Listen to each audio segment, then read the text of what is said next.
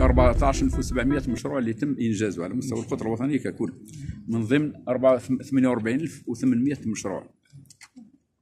32700 مشروع اللي التكلفة المالية تاعو كلها 480 مليار دينار. يعني 48800 مليار. آه هذه المشاريع هذه اللي آه تم إنجازها. مش معناها خلاص أنا كملنا.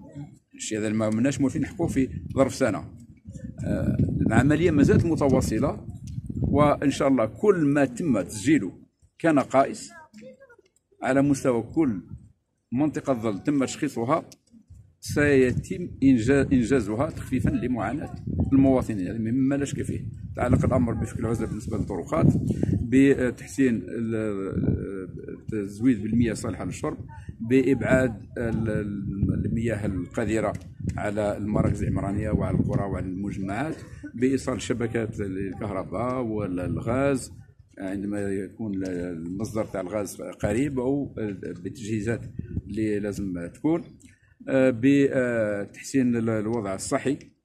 بتحسين ظروف التمدرس بالنقل مضمون. اذا كل هذا راهو تم تسجيله وانجازه على مستوى كل المناطق ما كاينش ولايه اللي ما استفادتش. والشيء اللي تحقق في ظرف سنة لم يتحقق قط من قبل.